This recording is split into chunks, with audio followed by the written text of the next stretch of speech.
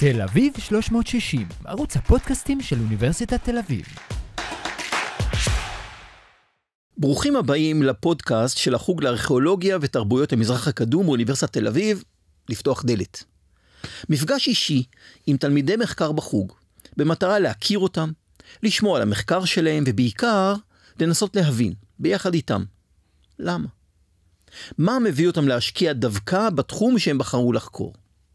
נמצא איתנו היום עופר נווה, שלום עופר. שלום שלום. שמח שהצטרפת. אני שמח להיות פה. בוא, תספר קצת מי אתה, מאיפה אתה בא.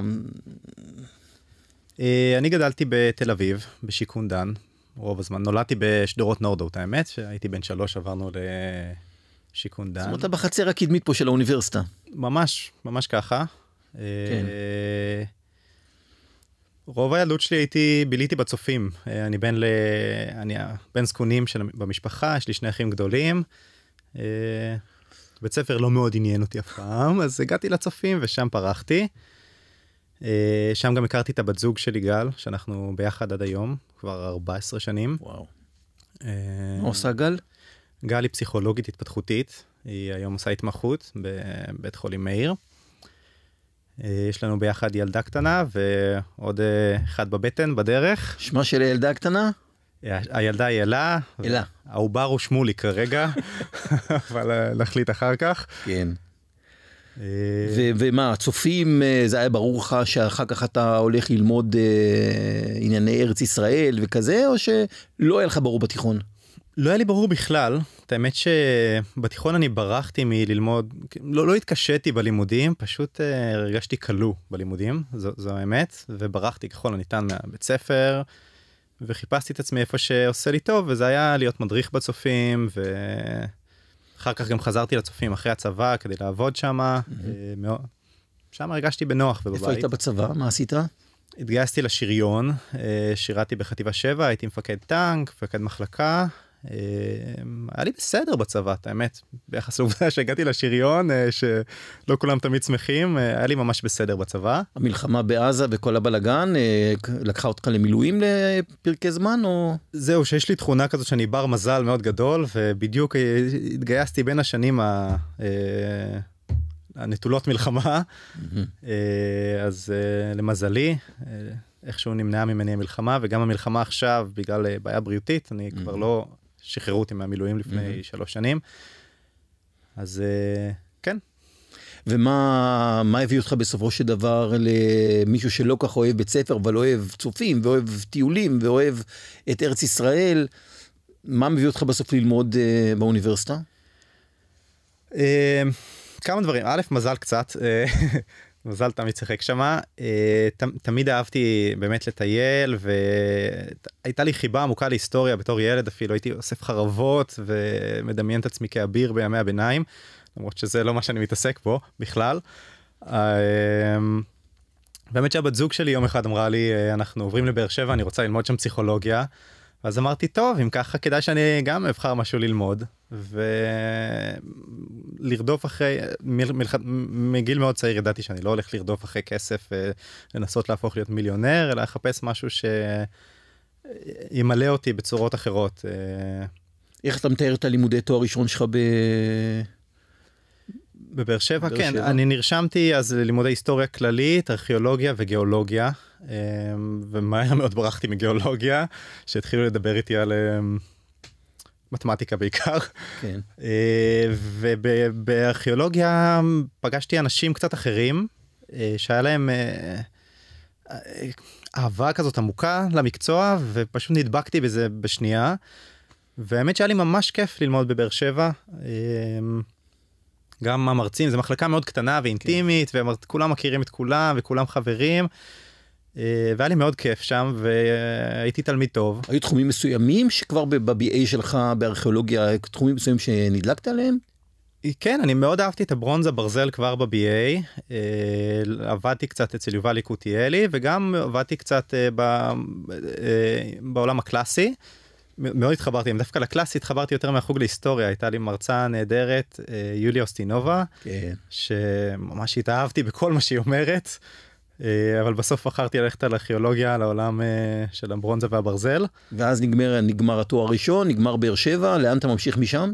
בסוף התואר הראשון כבר היה לי ברור שאני הולך להמשיך ללמוד כי כל כך פרחתי והיה לי כיף ללמוד אז uh, הלכתי לדבר עם ראש המחלקה עופר מרדר uh, והוא אמר לי תשמע אתה ילד חכם יש לנו מה להציע לך אבל uh, כדאי לך גם לבדוק במקומות אחרים. ובאמת uh, הלכתי ובדקתי והתראיינתי גם לאוניברסיטת תל אביב וגם לעברית. אה, אולי טעיתי, אני לא יודע. אין לי. ספק שלא. אה, והיו מאוד נחמדים אליי באוניברסיטה העברית אה, וגם פה היו נחמדים אבל איכשהו קרץ לי ללכת לגור בירושלים את האמת יותר מהכל. אה, איכשהו פינטזתי על לגור בשכונת מחנה יהודה ובאמת זה מה שעשיתי. אה, התחלתי לעבוד ברשות העתיקות והתחלתי תואר שני באוניברסיטה העברית. אה, התגלגלתי מפה לשם ובסוף עשיתי אה, נעמה יהלומק הציעה לי פרויקט מאוד מעניין על תל זרור בתקופת הברונזה המאוחרת שהוא היה באמת פרויקט נהדר. נהדר. אמ, ובאמת זכיתי לפרויקט כזה. ועבדתי ברשות העתיקות עד שכבר לא כל כך היה לי כיף לעבוד ברשות העתיקות בתור מפקח. אז אה, בחרתי לעזוב את הרשות וגם באותו זמן התרחבה המשפחה שלנו נולדה אליו והחלטנו לעבור לתל אביב גם כדי להיות קרובים למשפחה. אמ, ומכאן שסיימתי את התואר השני החלטתי לנתב את החיים שלי לכיוון אה, תל אביב וגם הקשבתי לעופר מרדר והמשכתי לחפש אה, עוד הזדמנויות ועוד מקומות כי הרגשתי שגם הרווחתי הרבה מלעבור לאוניברסיטה העברית ולמדתי הרבה מהמם. ואמרתי אני יכול אה, להרוויח כפליים ואני אמשיך לחפש ובאמת די די מיידית הגעתי לתל אביב אה, ופגשתי את עומר פגשתי את יובל והוא חיבר אותי לעומר ובאופן טבעי פשוט אה, נמשכתי לפה. ואז אתה מתייצב פה, ואתה מתחיל פה את התואר השלישי שלך, ועומר מציע לך נושא, ועכשיו אנחנו אה, נתרווח רגע ונשמע מה בעצם אתה עושה במחקר שלך. מה בעצם אני עושה במחקר שלי בעצם עומר הציע לי אה, אה, לעשות איזשהו מחקר אה, על האוכלוסייה אוכלוסייה שפחות אה, התייחסו אליה אזור שפחות התייחסו אליו במחקר ואוכל, אה, סקטור של האוכלוסייה זה האוכלוסייה הכפרית של אה, הגליל התחתון שפחות נגעו בה במחקר. אה, וזה גם נובע א', א' מהמחקר של עומר שמתעסק אה, במרחב הכפרי ובמזרח עמק יזרעאל וגם מעבודה של השותפה של עומר שגם שותפה שלי היום קרן אה, קובלו פארן שחפרה אתר בש, אה, בשם הר יונה בהרי נצרת שזה אתר נהדר אתר כפרי שיש בו שכבות מהברונזה התיכונה אבל בעיקר בברזל ובתקופה הפרסית.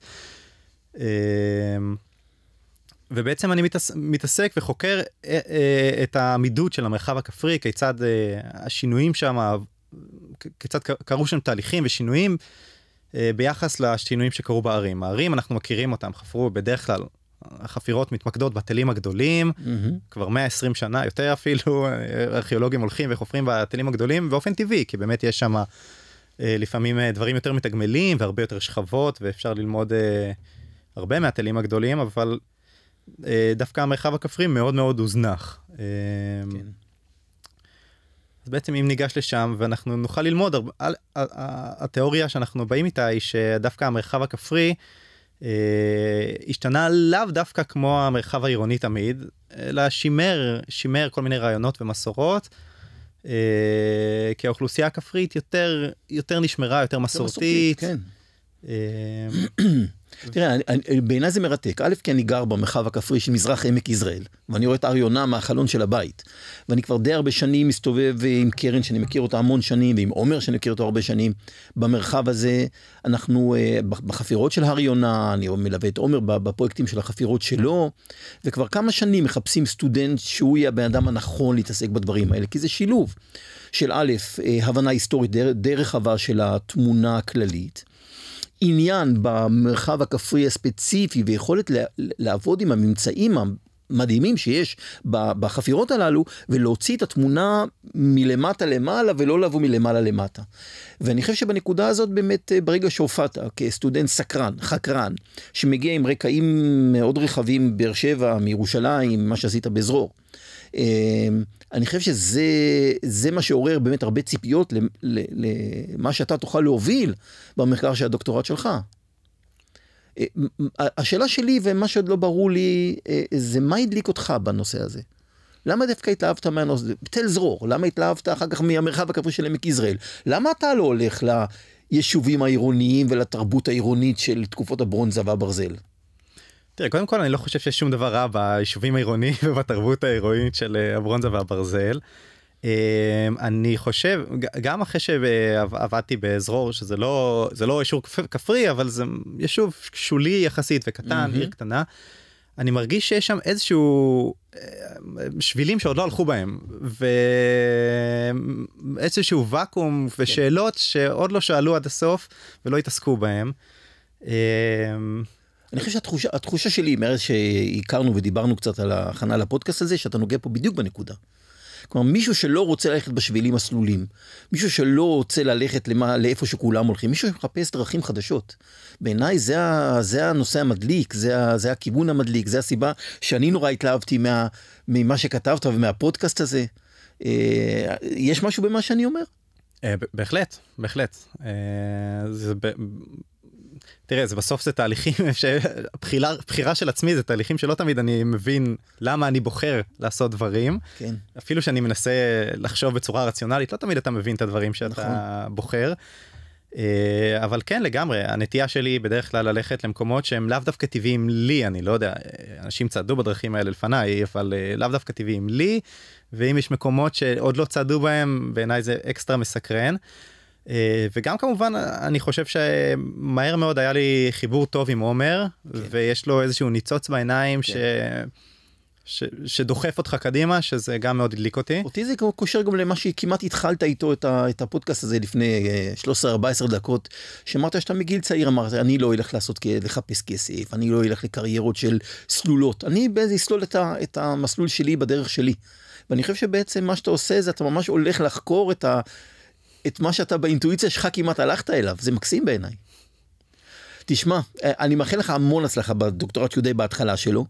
אני מחכה לראות לאן הדברים יתפתחו. ואני נורא מודה לך שהצטרפת היום לפודקאסט הזה. תודה רבה שמח להיות כאן.